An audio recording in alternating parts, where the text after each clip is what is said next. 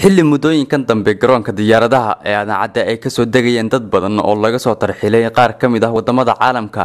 ayaa maanta hay'adda qaxoontiga qaranka soomaaliya waxa ay garoonka diyaaradaha adaacadda ka bilowday mashruuc teendhooyin loogu dhisayo dadka soomaaliyeed ee laga soo tarxilo dalka sacuudiga.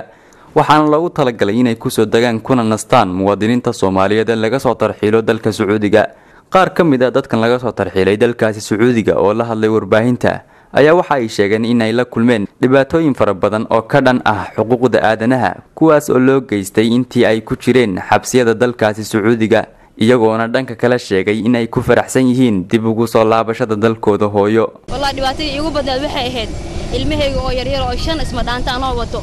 oo shiwani matagna uu iga dhacay oo laba bilood ku dhowaad aa xidhanahay cunugii markaa istaal ii xawile afartii kaleeto cid aa uga tagana ee laheed oo ligu dhahay yaa maama ilaa shuufi maslaxadii awlaadi. Wiilkaada inuu nolol iyo geeri u dhexeeyo istaal la aadso haddaan la aadsan karin dadkan biriiska cunaya inaa ka leexata kuu fiican. Kana mas'uuliyaddiisa adaa qaadays maxamed bile geelle somsat muqdisho